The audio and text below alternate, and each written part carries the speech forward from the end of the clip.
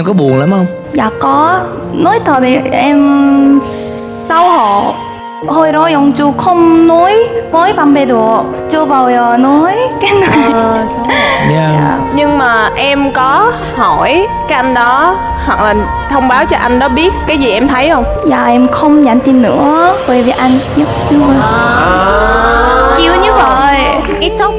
vì vừa mới nhắn tin cho bạn có 5 phút thôi à là bạn đã nhìn thấy cái cảnh rồi, đó rồi. rồi ông kia ông gọi là Đúng gì em rồi. gọi là Crab boy hả? boy Crab Crab boy hả? nhưng mà bây giờ là hết buồn rồi đúng không Hết buồn rồi ạ Nhưng mà em có bị bad image về đàn ông của Việt Nam không? Dạ không ạ Bởi vì á, Yongju thấy Nước nào cũng có người xấu người tốt á. Ở đâu cũng sẽ có thôi. Even Thailand, Yes. the good or the bad one.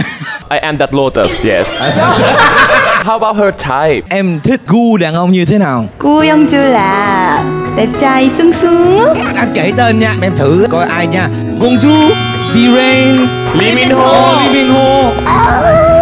trứng thành nữa một style nữa em À không không Sợ chị Hariwon Cái style, cái style. Dạ sao Em thích Kong Yu Great choice. Ok, Gongju ha. Ok. Ok, kiếm Gongju. ok Cố gắng cố gắng Fighting!